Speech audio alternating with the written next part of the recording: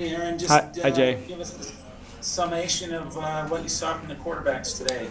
Um, who the starter is. yeah, I, I'm sorry. I'm not.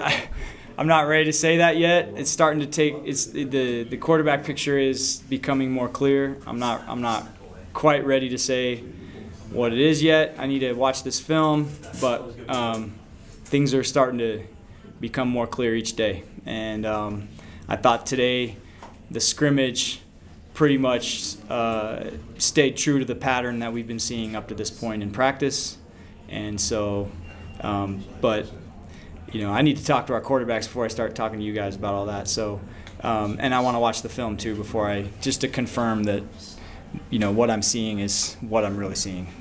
So, um, but all three of them did some good things today, and um, you know I know, I know that's a, that's a that's a boring answer for you guys, but they're playing they're playing good. We've got a good group, and um, I will say this: when when Jaren Jaren and Baylor look like veteran QBs, they run our offense efficiently, and then Conover is just a guy. He's got he's got his moments where he's just like you know I, I don't like to compare anybody to anybody but he's a young it's almost like zach when he was young he's some of the plays he makes are really big plays and then some of the mistakes he makes are just young young mistakes they're just they're things that get uh, fixed with time and so but the upside's really high and so he's an intriguing dude man he's a good player and so it's, it's just fun having those uh, you know the contrast there of the two veterans that really know what they're doing and run the show with the with the young guy that's that's got a super bright future that uh, is really explosive kid. Coach, what are you most satisfied with through uh, seven practices, one scrimmage under your belt as the offense coordinator? Um,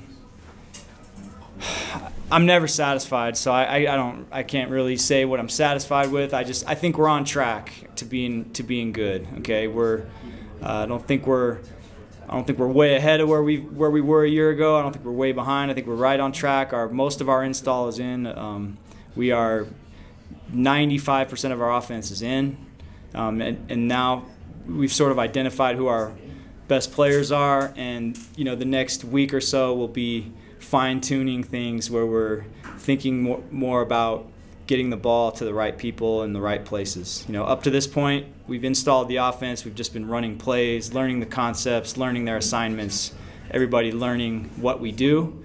And now, as we get deeper into camp, we'll start featuring our best players doing the things that they do best. Okay, let's go Norma and then Sean.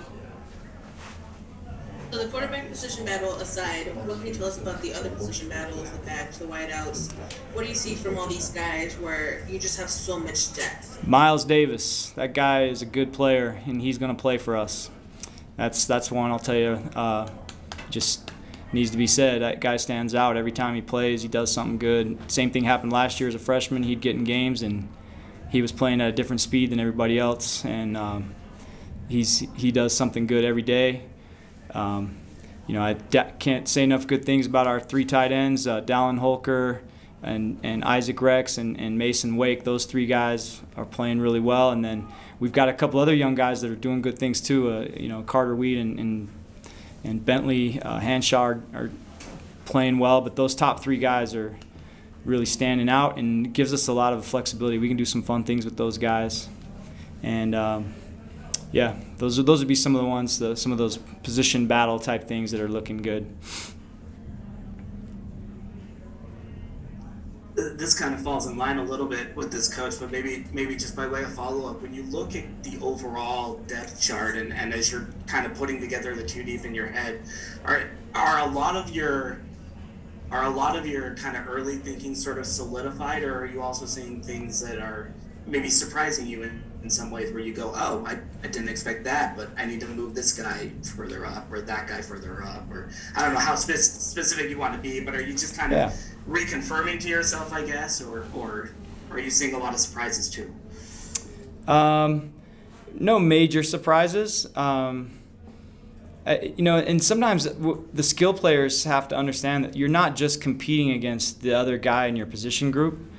You know, in this offense, we can play with a lot of different position groups. So, what you're really doing every day is just trying to prove that you can be trusted to do your job well and then we can play in a lot of different personnel groups. And that's that's part of this offense is we want to we want to put different groupings on the field and see how teams try to defend us. And and um, you know one game to the next we might find a, a different advantage over another team in, in, in a different group. But in order to do that we need a lot of guys that can, that we can trust so if I'm the third or fourth tight end I'm, I'm not just trying to I'm not just trying to be the next best tight end. I'm also trying to prove that I'm more trustworthy than the fourth or fifth receiver or the or the third running back or whatever. And so, uh, I guess one of the things I've been pleased with up to this point is we have some personnel group versatility, which allows us to have some fun with with uh, with our offense. You know, we we kind of do a lot of the same things over and over, but we we mix up who's on the field,